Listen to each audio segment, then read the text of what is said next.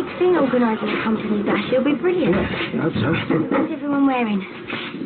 Oh, yeah, it's going to look like a plonker. Stacey, don't get your hopes up. I'm not sure if the invites included partners or not. Oh, when will you know? Can you find out today? Yeah, yeah, of course. Well, I mean, I can ask.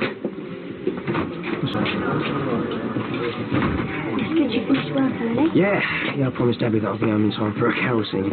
Uh, two teas, please.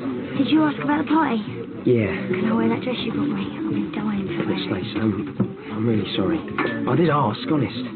But I can't come. Well, you know, I'd take you if I could, but it's the managers, you know, they're really the only ones allowed to take guests. All right. Yeah, I mean, it's mainly company guests anyway. And us, look, we're just there to say yes, sir, no, sir. Make sure the clients are having a good time. Yeah? I'm really sorry. No, no, it's not a big deal. If it was up to me, I wouldn't be going at all. No, no, don't be silly. You have to go. What are you going to wear then? Your good suit? Yeah, well, I have to, really. Just got to find a tie to go with that's all. It's going to be crap anyway. Yep. It's going to be crap sandwiches and people getting groped behind the photocopier. Who said it was in the hotel? Yeah, that doesn't mean it's not going to be crap. I mean, it just means it's going to be more booze and more people being sick in the lifts, that's all. It sounds like you're well out of it then, doesn't it? Yep, because it's going to be crap.